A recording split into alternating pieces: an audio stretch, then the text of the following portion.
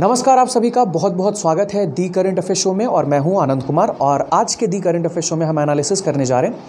आज से कुछ दिन पहले हमारे देश के डिफेंस मिनिस्टर द्वारा डिफेंस सेक्टर को आत्मनिर्भर बनाने के लिए एक बहुत ही अहम फैसला लिया गया था और उस फैसले के तहत 101 विदेशी उपकरणों पर बैन लगा दिया गया था ताकि भारत को डिफेंस सेक्टर में आत्मनिर्भर बनाया जा सके।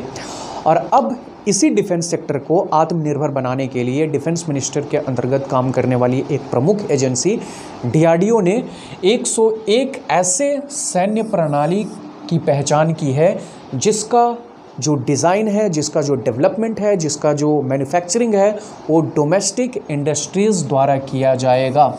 तो आज के दी करंट अफेयर्सों में हम इसी टॉपिक पे एनालिसिस करने वाले हैं। तो चलिए आज के दी करंट अफेयर्सों की शुरुआत करते हैं।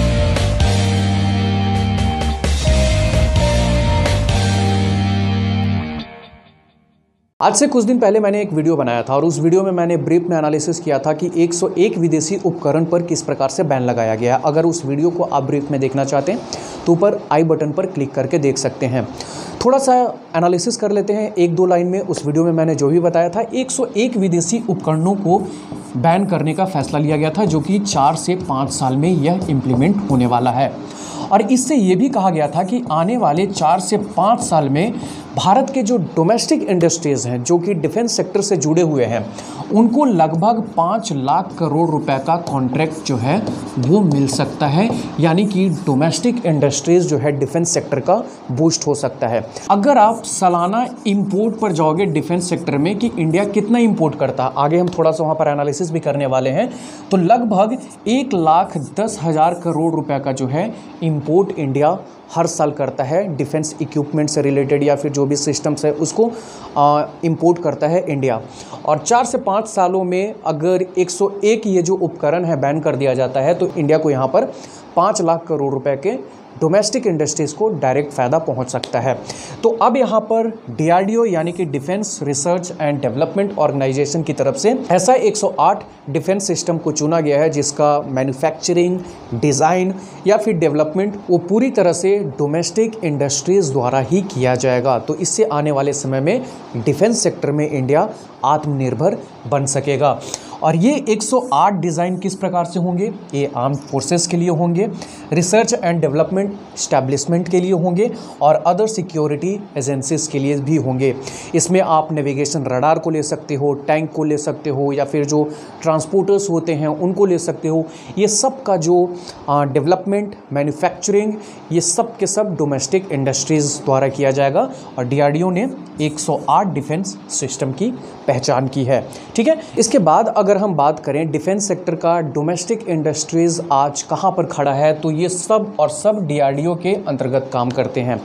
और प्रेजेंट टाइम पर 1800 से अधिक ऐसे एम सेक्टर हैं जो डिफेंस सेक्टर से जुड़े हुए, चाहे हार्डवेयर हो, चाहे सॉफ्टवेयर, इनके निर्माण का कार्य करते हैं। इसमें कुछ ऑर्डिनेंस फैक्ट्री हैं, कुछ डिफेंस पब्लिक सेक्टर यूनिट्स हैं या फिर कुछ लार्ज स्केल इंडस्ट्रीज़ हैं। ये जितने भी एम सेक्टर हैं या फिर लार्ज स्केल के इंडस्ट्रीज़ हैं, वो प्रेजेंट टाइम पर डिफेंस सेक्टर से जुड़े हुए हैं।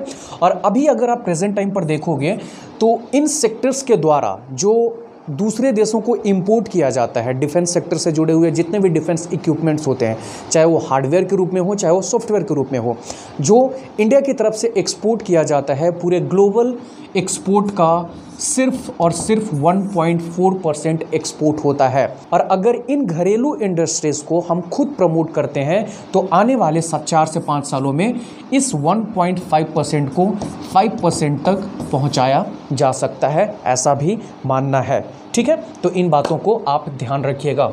तो अब यहाँ पर ये समझने का प्रयास कीजिए कि आखिर गवर्नमेंट का प्लान है क्या?